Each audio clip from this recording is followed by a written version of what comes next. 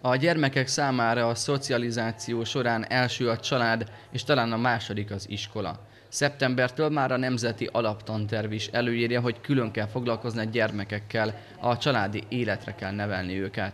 Első hallásra ez egyszerűnek tűnhet, azonban külön szakterületként kezelik a kérdést a pedagógusok.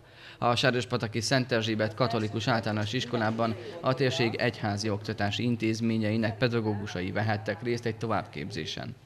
Úgy gondolom, hogy a család életre nevelés nagyon fontos a gyermekek számára, hiszen a család az az első értékes közösség, amiben az életét megkapja a gyermek, és utána ebben a családban nevelkedik, és fontos az is, hogy tudatosan készüljön a felnőtt korra, a családi életre. A már 20 éve családi neveléssel foglalkozó szakember azt mondja, egyre nagyobb felelősség hárul a pedagógus társadalomra a családi életre nevelés most már nem csak a család feladata. Az lenne, de nagyon sok sérült családdal találkozunk, és ott a gyerekek nem találják meg a megfelelő mintát ahhoz, hogy ők boldog családéletet élhessenek.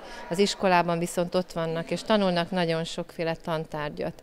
Mi úgy gondoljuk, hogy a pedagógusoknak olyan készségeket, képességeket is át kell adniuk most már napjainkban, amivel a család életükhöz, annak boldogulásához segítik hozzá a fiatalokat. A tanárok pedig azt mondják, jó, hogy kapnak segítséget a családra neveléshez, mert bizony egy gimnazista korú fiatallal nehéz, komoly, egész életét meghatározó témákról kötetlenül beszélgetni.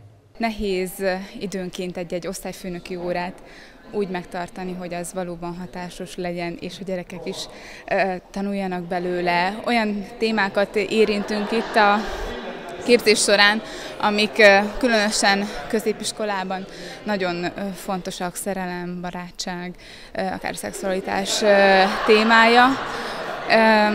És érzékeny témák ezek, amikről beszélnünk kell, de de nem egyszerű. A családra nevelés bevezetése az oktatásban jó döntés volt, mondták a pedagógusok, azonban valóban úgy érzik, talán a szemérmesség vagy éppen a diákok otthoni gondjaik miatt nehéz lesz az első időszakban véghez vinni a programot.